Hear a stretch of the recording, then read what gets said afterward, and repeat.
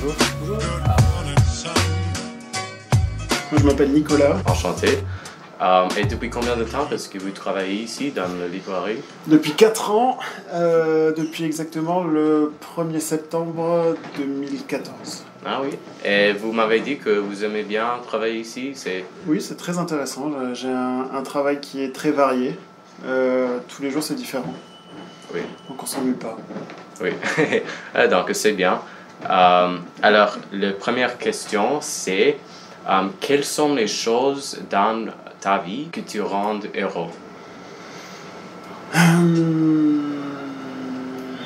Au quotidien, un certain nombre de choses. Euh, me lever le matin et savoir que je vais avoir du travail. Oui. Euh, travailler, me bouger, ne pas voir ma journée passer. Euh, travailler aussi avec des gens que, que j'aime et que j'apprécie. Euh, manger. oui. Tout simplement. Surtout. Euh, boire du bon vin. Donc ça c'est pour le quotidien. Et ensuite en général il y a d'autres choses qui me rendent heureux, notamment voyager. et essayer d'atteindre mes objectifs.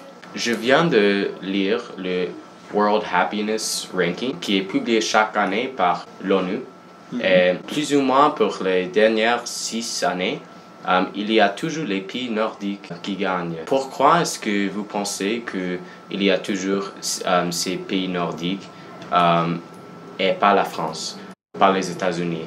Mhm. Et est-ce que vous, vous pensez qu'il y a quelque chose qu'on peut apprendre de, des pays nordiques et leur système euh, Alors plusieurs choses. Je pense que derrière tout ça, il y a une philosophie de vie qui est différente de la nôtre. Mm. Cette philosophie de vie, elle va euh, avoir des applications dans le quotidien. Sans doute qu'ils vivent différemment de nous. Euh, bon, j'ai un peu visité les pays nordiques et j'ai l'impression qu'ils sont plus en lien avec la nature. Oui. Euh, avec les grands espaces. Euh, j'ai l'impression aussi qu'ils s'occupent beaucoup d'eux-mêmes, de, que ce soit de leur corps ou, ou, de leurs besoins.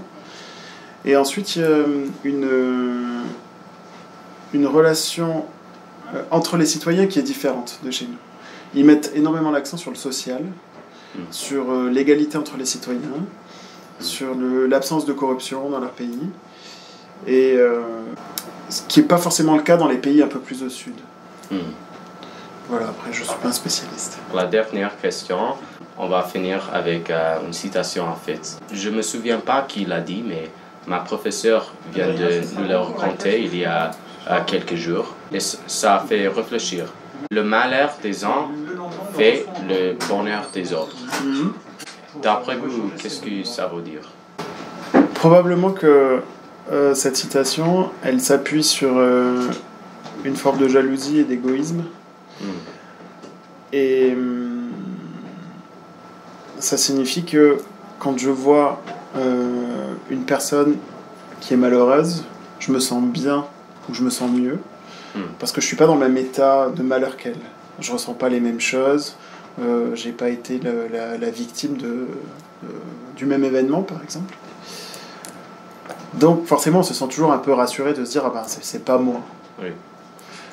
Euh, Cette personne est moins heureux que moi, donc ça me fait Voilà. sentir un peu mieux. exactement. Oui. Euh, voilà, Eh oui, ça c'est tout. Non, merci beaucoup. avec plaisir.